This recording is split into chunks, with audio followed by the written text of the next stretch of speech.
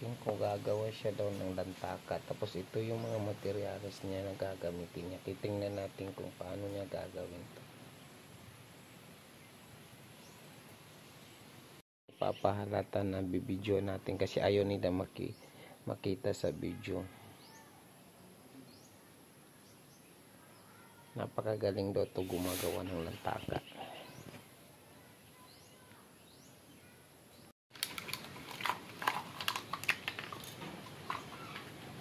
Hindi, pagkuhan ka plastic, pulitin mo na.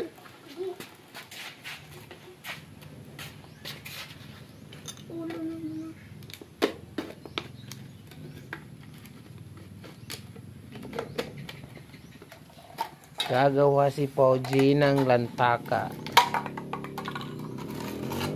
Tingnan natin paano niya gawin. Yung ginawa niyang pinutol niyang dalawang plastic, yun ang gagawin niyang pang dugtong-dugtong sa lata ng sardinas.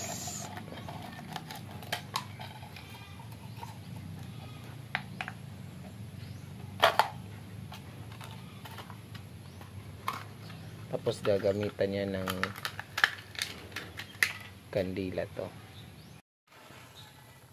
Ito, susunugin niya yung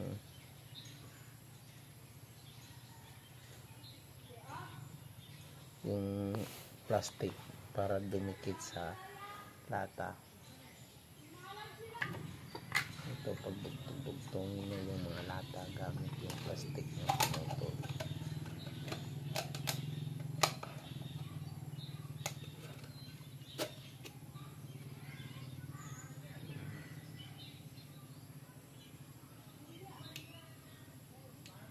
pinapapalambot niyo yung plastic doon sa pinasok na lata.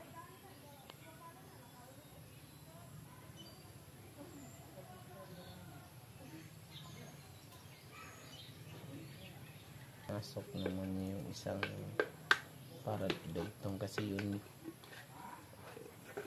lalagyan ng yung hindi niya pinutol yung dulo. Yun yung lalagyan ng flying tiger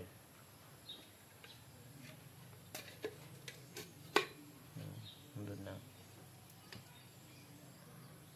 tapos talagyan din niya ng tape pagkatapos. Magaling talaga.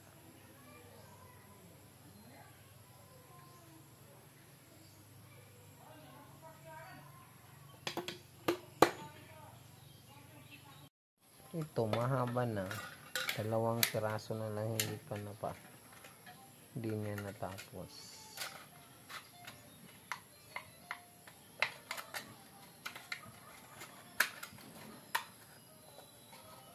lagay niya yung ano ng lighter. Yung sinira na lighter. Kasi tapos na yung pag, pagdugtong-dugtongin yung lata.